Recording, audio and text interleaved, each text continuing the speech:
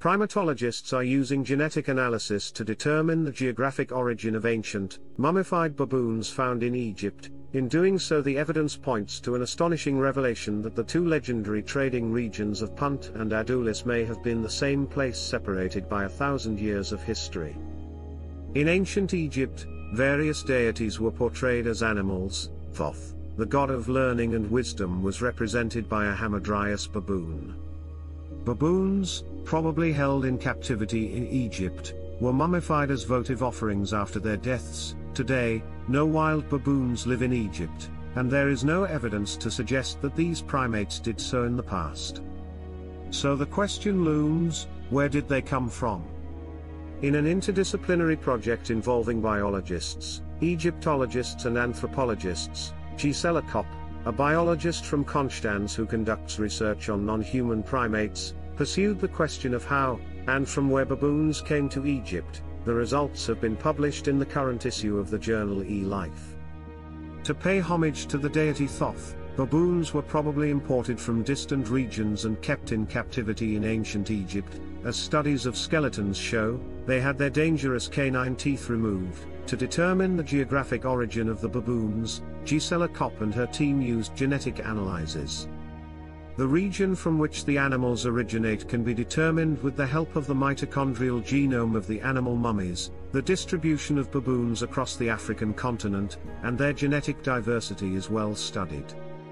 We have comparative samples from almost all regions where baboons live today, Gisela Kopp says, these were supplemented with approximately 100 to 150 year old specimens from museum collections.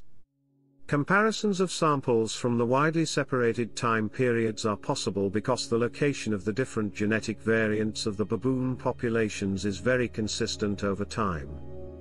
One of the study's collaborators, anthropologist Nathaniel Dominy from Dartmouth College in the United States, had already used stable isotopes to identify the respective geographic locations of mummified baboons. This method of using chemical signatures can be employed to distinguish between where animals were born and where they grew up. The study, published in 2020, was able to identify the Horn of Africa as the baboon's region of origin. Using genetic analysis, which has higher geographic precision, and can also determine where the animals and their ancestors came from originally, the location was narrowed down to a well-defined area in Eritrea and neighboring regions. A comparative sample that was most similar to the genetic variant of the mummy specimen originates from the coastal region in Eritrea, where, in ancient times, the port of Adulis was probably located. Ancient texts refer to Adulis as a trading place for luxury goods and animals. The mummy specimen used by Gisela Kopp and her team was excavated in 1905 in the Valley of the Monkeys and is now held in the Musée des Confluences in Lyon. The mummy is estimated to date back to between 800 and 500 BC in the late period of ancient Egypt, this is long before Adulis flourished as an important trading center and port. Early historical texts mention Punt as the baboon's place of origin, a legendary region from which Egypt imported luxury goods for centuries until early in the first millennium BC.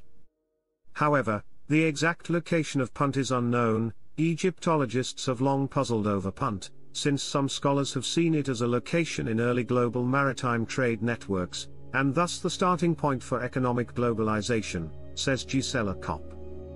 Punt is documented in ancient illustrations and texts from the same period as the mummy specimens, the Egyptological expertise in the project made it possible to link Punt to Adulis. The specimen we studied fits chronologically with the last known expeditions to Punt, geographically, however, it fits Adulis, a location that, centuries later, was known as a trading place, also for primates. We hypothesize that Punt and Adulis are two different names for the same place that were used at different points in time, Gisela Kopp says. It was only after we put our biological findings in the context of historical research that the story really came together. In the field of biology itself the findings are a scientific breakthrough, because it was the first time that ancient DNA from mummified non-human primates was analyzed successfully. This opens up opportunities to study, for example, the impact of human-wildlife interactions on genetic diversity and their role in the transmission of diseases.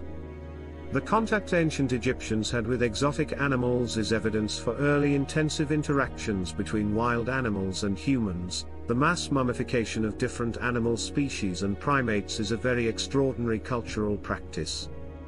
The representation of baboons in images and artwork since antiquity is only found in Egypt. We do not know what made these primates special to people at that time and why they were elevated to the role of representing the deity Thoth. People that share an environment with baboons usually do not hold the animals in high regard, for these people, baboons were and are considered a nuisance and pest for damaging crops.